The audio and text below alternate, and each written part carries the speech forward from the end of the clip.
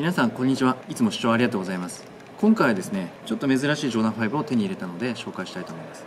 えージョーダン5のミシガンという色ですねこのイエローはですね、えーミシガン大学、まあ、バスケットボールの超名門校ですね。それからインスパイアされたカラーとなっています。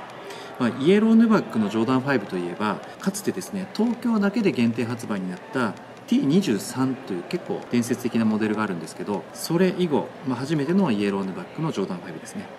まあ、その T23 は東京限定で発売になりましたのでナイスカラーということでアメリカ人がかなり高い値段をつけて取引をしている、まあ、今でもネットで見れば分かると思うんですけどかなりの高額な値段で取引されています。それに対抗したのか分かりませんけど今回このカラーはアメリカだけでの限定発売になったというところも一つのトピックですね。現地でもかなり人気だったみたいでネット購入したんですけど、まあ、30分ぐらいでソールドアウトとなっていました。え価格は225ドルですね、まあ、T23 とどこが違うのかっていうところなんですけどまず一つはここのミッドソールの色。T23 は白なんですね、まあ、それが今回ネイビーになっていると。あとは T23 はナンバリングが入っていますけど何の模様もあのマークも入っていません。あとリフレクターの部分。ここは T23 銀色なんですけど、えーネイビーの色になっています。で裏の終端の文字ですね。T23 ジョーダンって入ってますけど逆さまでインスパイアっていう文字が入っていますね。まあ、実はこの逆さまになって入っているのが実は普通で過去のそのジョーダン5はこの終端をですね裏返しにして履くっていうのがま主流だったみたいですね。トレンドだったみたいですね。それで文字が逆さまに入っていると。ただここ最近その終端を裏返しにして履くっていう文化が我々にもないので割とここ最近のジョーダンでも文字がですねここちらから見ると、まあ、ジョーダンっていうふうに読めるように入っているみたいなんですけど、まあ、この終端はですね昔のジョーダン5をモチーフにしたようで、まあ、インスパイアという文字が逆さまに入っています。あとここのヒールの部分は、まあ、本来はジョーダンマークが入ったりしてるんですけどミシガン大学が優秀な選手を輩出しているということに対するリスペクトの文章が入っているというのが今回のモデルですね。僕がよく履いているジョーダン5のこのレイニーといろいろ比較するとレイニーの場合は23番のナンバリングが入っていて、まあ、ヒールにはジョーダンマークが入っています。でやっぱりこの裏地と中の中敷きですね。ここも非常に何かこう高級感のあるような仕上がりになっていますね。まやっぱりですねジョーダン5好きからしてみて僕が今まで出会ってきたジョーダン5の中で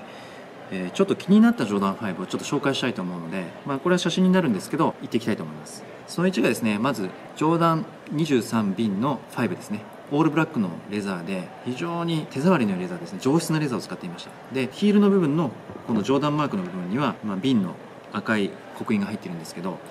あれ以降ですね非常にその高級感のあるプレミア系ジョーダン5っていうのがですねあそこから流れができたんじゃないかなという気がしますね。まあ、それ以後ですね、えージョーダン5のレザープレミアム定価がですね4万7000円ぐらいしたやつとかもあれもかなり高級なレザーの仕上がりになっていました。でもう一つがですね僕気になってたジョーダン5がジョーダン3ラブ5っていうやつですね。ジョーダン3のエレファント柄。あれがですねこのジョーダン5のアッパー部分に全模様として入っている。全模様があのセメント柄で入っている。素材も全部セメント柄なんですね。なので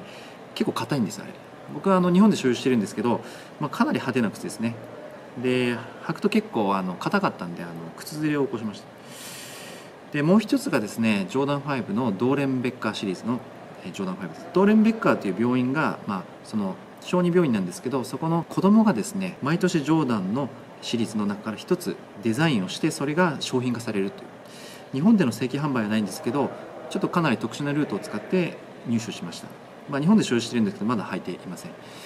あのジョーダン5は非常によくできていてこのアッパーの部分にですねいろんな文字が埋め込まれてるんですね。通常その文字がうっすらこうきらびかりするような形で見えるんですけど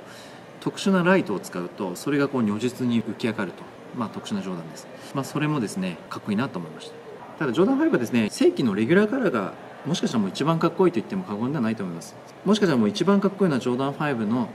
ブラックですね。銀色のリフレクターでそして23のナンバリングが入ってる。もう一番一般的なもう教科書のジョーダン5なんですけどやっぱりあれが一番かっこいいのかなと思っています、えーやっぱりですねまだまだこれからもですねいろんなジョーダン5が出ると思います。当時からもですねかなり人気のあったモデルでいまだ2019年2020年のいまだに30年経った今でも、まあ、僕らを魅了し続けるジョーダン5この形がですね、えー好きです。非常に。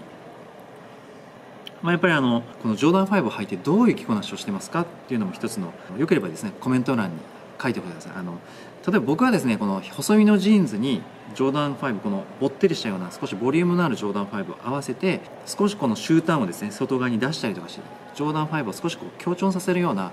着こなしをしたりとかするのが好きだったりするんですけどまあダボっとしたですねあのブカブカのジーンズに、まあ、ジョーダン5を合わせてもかっこいいと思いますしこっちのアメリカ人とかあの黒人の人たちとか結構そういう着こなしをしてるのをこっちで見たりすると結構かっこいいなと思いますし、皆さんがどんな形でジョーダン5をしてるか、まあ、それもちょっと聞きたいなと思います。